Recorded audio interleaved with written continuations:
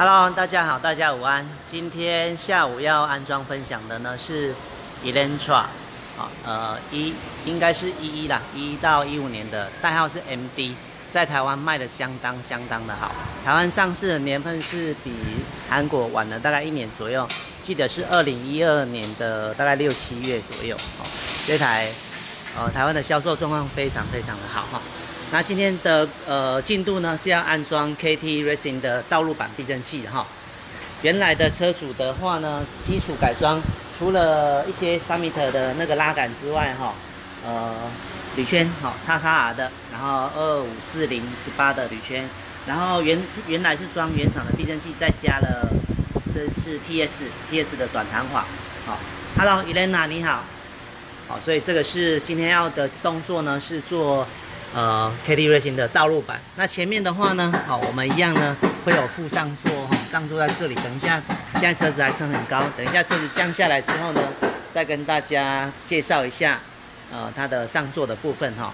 这是很漂亮的大包，这个大包很漂亮。啊这一台车呢，就是都一样了哈，跟我们家的避震器一样，都是做专用的规格。前面的话呢，Hello 叶大侠，下午安哈。前面的话呢，呃，上部的上面的这颗是 ABS 感应线的固定位置嘛哈，啊，这个呢是油管固定架的位置，啊，这个是原厂离载串的固定位置，这些的相对位置呢都是跟原厂一样的哦哈。啊，这一台前面呃没记错的话，前面大概降最低是大概半指幅左右，半指到呃轮胎上缘跟叶子板差不多切齐左右哈。最低的话还能降的还蛮低的哈。来，这是前面的变器已经装好了。这个还有改的那个鱼眼呢，鱼眼的雾灯，功能性应该很好。哎，还有 HID 的安定器哈。那前面的话已经装好了，后面的话哈哦，还有改了这个防盗螺帽，这防盗螺帽。Hello，胖人你好。哦，胖人很久不见呢，你给我过来一下讲饭呗。要车要车装了大概好像快一年了，要要过来检查一下吗？好，哎，这个是呃 Summit 的 Summit 的后下拉杆哈，这个是 TS 的后面的短弹簧，啊，是右边装好了哈，还没哈，好，右边的弹簧跟 Hello Key 放好了哈。那这一台的我们家的配置呢？我们来看一下哈。前前面的话是配置的七公斤的弹簧，后面的话呢是配置四公斤的弹簧。它这个是呃调整机构，调整机构在这里，调整机构在这边。我们有附了一个橡皮，刚好是砍到这个圆盘里面放的刚刚好。那原厂的话有一个，原厂本来在这里有一个缓冲的馒头。哦，这个馒头已经要需要拿掉。Elena，你羡慕有鱼眼哈？呃，那我应该说什么？我应该羡慕你，羡慕你有电眼吗？好，所以这个是呃，这个是后面的 Hello Key 加弹簧。那等一下桶身哦，会放在这个区域。哦，原厂的桶身呢就在这里。啊，上部调整阻尼机构呢，呃，也是在这这这里的哈，在这里面，也不用在避震器拆下来哈，就直接在这上面就可以做调整啊。那一边好像装好了，我们来看一下。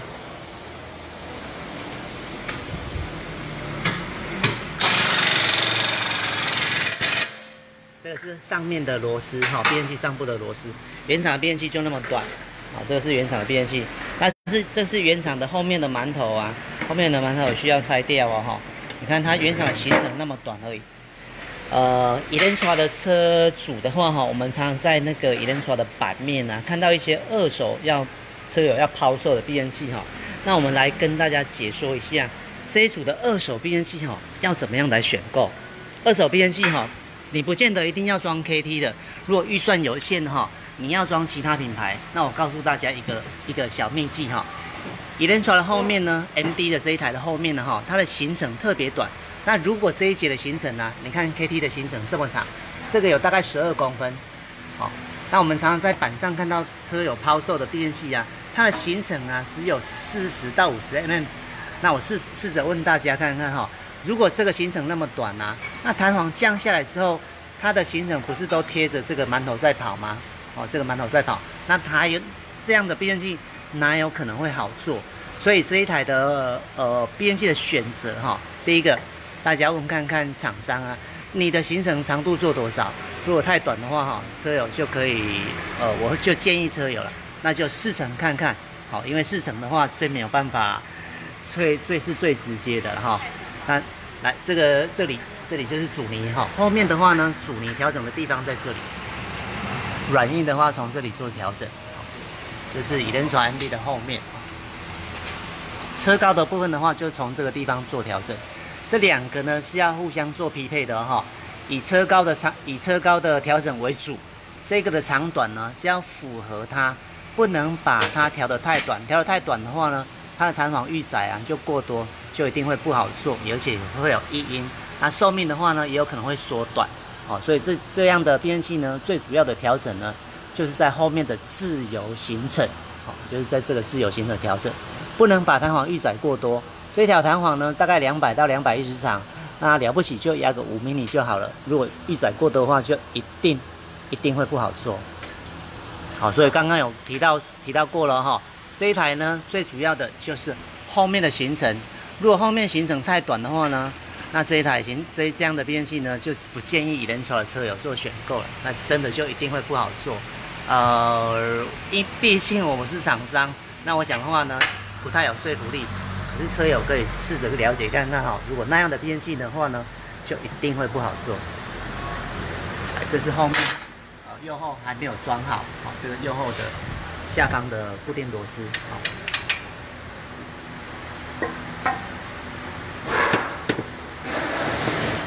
哎，这里还有一个小细节哈，就是这里的这个的呃下方避震器的固定孔位置呢，这个是要注意的哈。它的原厂的是有是有一个固定扣是可以扣住啊哈。来，你帮我手指头比一下啊。对，这个地方呢，这个地方呢是要装在轮胎轮胎侧的。如果呢没有做这个的话呢，它的固定位置呢就一定会会很快的。哦，铁套哈就会坏掉了。你在这个地方，好，这个地方，好，所以这个地方呢，它是有分分固定边是是有是要注意的哈。装错位置的话呢，就会就一定就很容易就损坏，因为它的力道呢，这样就不会只有螺丝在负荷了。它旁边的这个位置呢。好，这个位置呢，它主要的负荷力道是在这里，而不是让螺丝在受力。如果单纯只有螺丝在受力，呃，那样电器呢，保证哈，很快这颗螺丝就会坏掉。所以这个是也是以人传呢电器的选择哈，要特别特别注意的这些小细节。好，你看一下哈，如果这个这个固定位孔位置呢，没有分大小孔的话呢，那这样就要特请车友特别小心了哈。Hello，小凯，冠军车手，你好。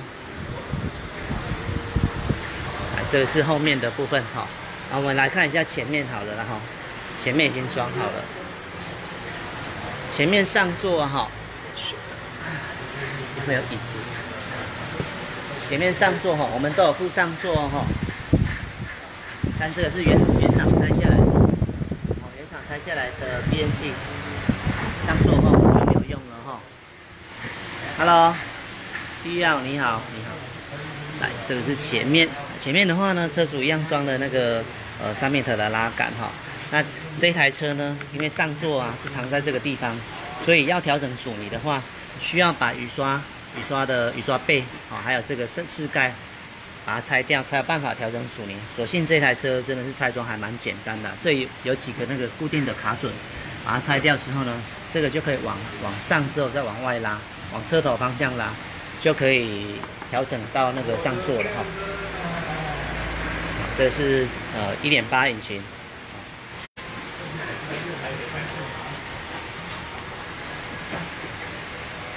可以进。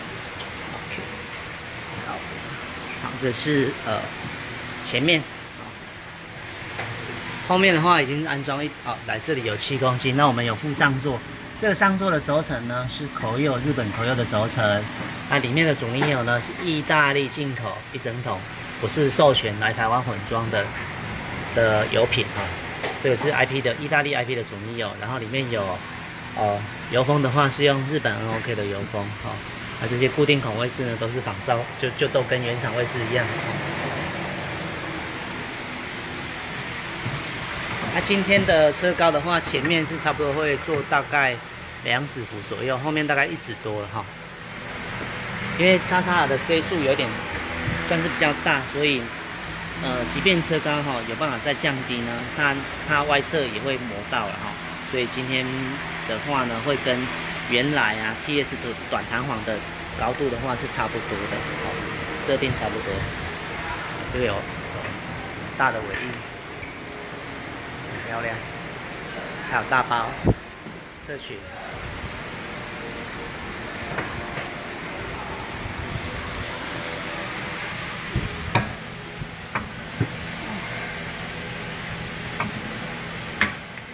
现在装的是右后的避震筒芯，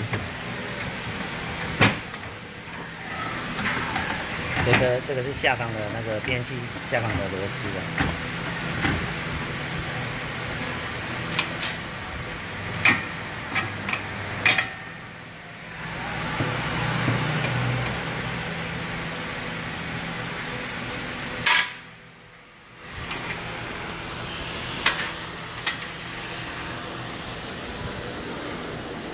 它原厂的啊，原厂的弹簧的上橡皮哈，就我们就有付了，所以就不用再使用。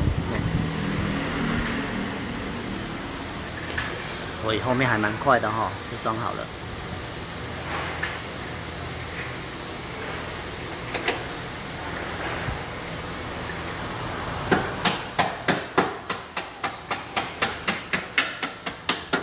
拍一下刚刚说的这个细节哈，看能不能拍得到。这里哈，这个的话呢，这个就一定要框住啊，它原来的那那个呃固定固定的位置，它的受力呢才不会有螺丝一个单颗受力的，就是在这个地方。原厂其实也有哈，原厂话在这里，在这里，这个这一定要坐在轮轮轮胎侧哈，在外侧。OK 了哈，